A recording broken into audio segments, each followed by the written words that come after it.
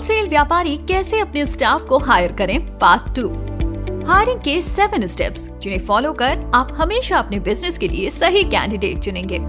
Wholesale व्यापारी कैसे अपने स्टाफ को हायर करें? इससे जुड़े तीन पॉइंट्स हम पिछले वीडियो में बता चुके हैं। बाकी के पॉइंट्स हम इस वीडियो में जानेंगे। तो चलिए शुरू करते हैं। पार्ट टू होलसेल व्यापारी कैसे अपने स्टाफ को हायर करें?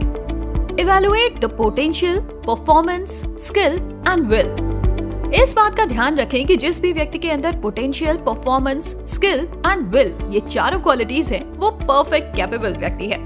Potential performance skill and will में भी आप तीन चीज़ों पर फोकस कीजिएगा कि कहीं वो long gap in the career यानी कि उनके करियर में लंबा गैप तो नहीं है जिसमें काफ़ी समय से उसने काम ना किया हो इसके कई कारण हो सकते हैं। इसके बाद कहीं वो जॉब हॉपर तो नहीं है यानी कि हर छह महीने में वो जॉब छोड़ता रहता है। इसके अलावा, कई बार होता है कि कोई व्यक्ति ना तो उसकी जॉब में लंबा गैप है और ना ही वो जॉब हॉपर है, बल्कि वो किसी कंपनी में लंबा टिका है, जैसे कि पाँच दस साल आदि।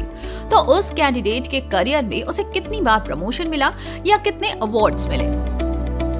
Soft skill and hard skill check करें। बातचीत करने का तरीका कि वो कैसे बात करता है, वो टीम मेंबर्स के साथ कैसे बात करेगा कस्टमर से कैसे बात करेगा यदि वो लीडर बनता है तो कैसे टीम और स्टाफ को मैनेज करेगा? क्रिटिकल कंडीशन में वो कैसे परिस्थिति और काम को संभालेगा? ध्यान दें, यदि आप एक होलसेल व्यापारी हैं तो आपको अपने चुने हुए कैंडिडेट्स में ये सारी खूबियाँ चेक करनी पड़ेंगी, जिससे आप सही कैंडिडेट चुन सके। बैकग्राउंड वेरिफिकेशन रेफरेंस जब भी आप किसी को हार करें तो उस कैंडिडेट का बैकग्राउंड ज़रूर चेक कर लें। ऐसा ना हो कि अनजाने में आप किसी क्रिमिनल बैकग्राउंड के व्यक्ति को काम पर रख लें। कैंडिडेट का स्वागत करें।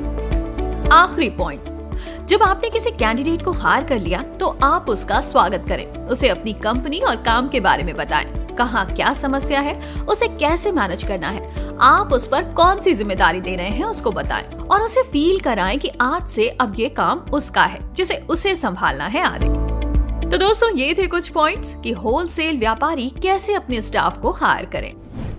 ओके क्रेडिट बिज़नेस ओके है।